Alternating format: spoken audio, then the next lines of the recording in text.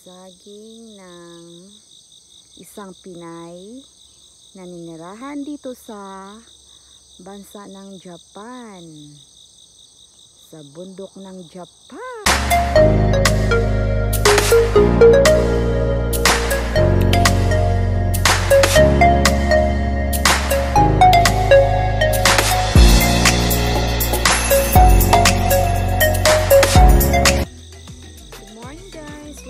To my three bananas in Japan. There is a one bananas and then two bananas and then three bananas. Yan.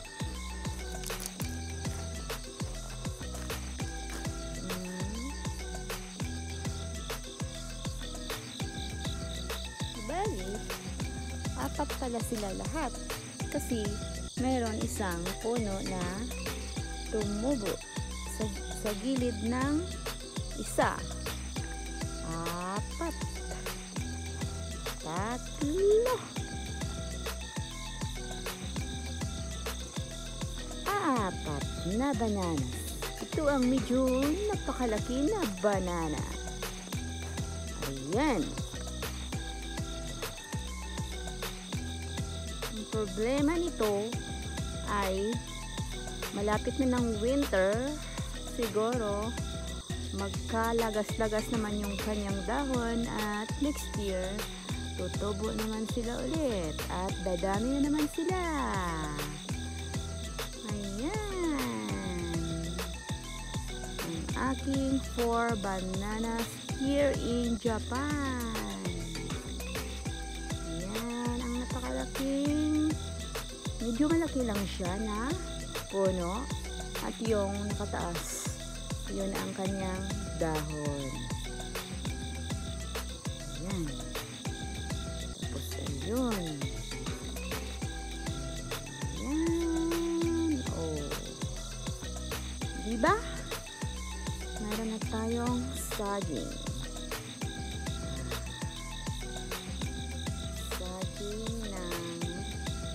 isang Pinay na ninirahan dito sa bansa ng Japan. Sa bundok ng Japan. Ayan ang ating apat na puno ng bananas. Here in Japan.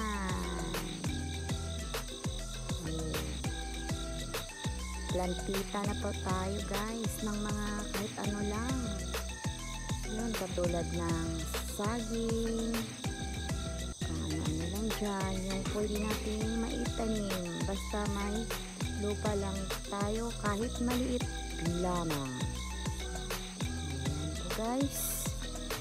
Thank you for watching for my for my for banana. move.